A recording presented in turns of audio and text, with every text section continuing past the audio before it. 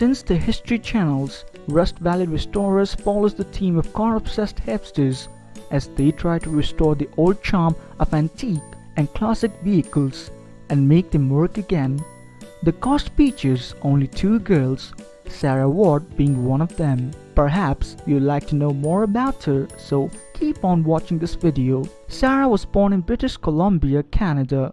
In the small concrete city of Tappen, she grew up around the Shuswap Lake area. Her actual birth date is yet to be uncovered.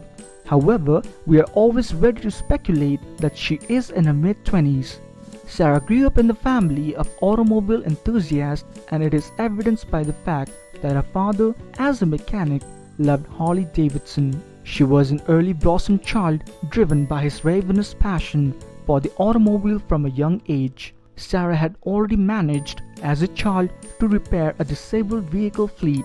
She describes the 1938 Buick Special, to whom she calls Medusa, as her first car as we can see her restoration skills of this antique piece in Rust Valley Restorers. She attended high school in Blind Bay, British Columbia and graduated from high school in 2011. Her husband, Sean Scott owns an auto shop called SS Welding. Sean and Sarah are yet to welcome any children together. Nonetheless, she loves to describe her cat and a pit bull as her kids. Sarah is a stepmom to Sean's daughter and she has a son from her previous relationship. Her previous relationship is said to be with Jade George, to whom she calls a wife. Her previous relationship with the wife, Jade George, has caused controversy in her sexual orientation. More details about this matter are yet to be revealed. Now, talking about her net worth and property, Sarah has been working with Avery and Mike in Rust Bros as a part manager and has been helping to locate the parts and engines of a car.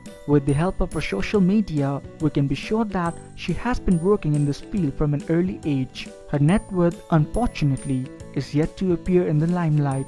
She owns a 2015 Camaro RS and hatchback Accord from 87. Sarah loves to be called Hot Rod Blonde on Instagram she is seen active on both Instagram and Facebook. She has an impressive fan base of 9,500 followers on Instagram with 137 posts.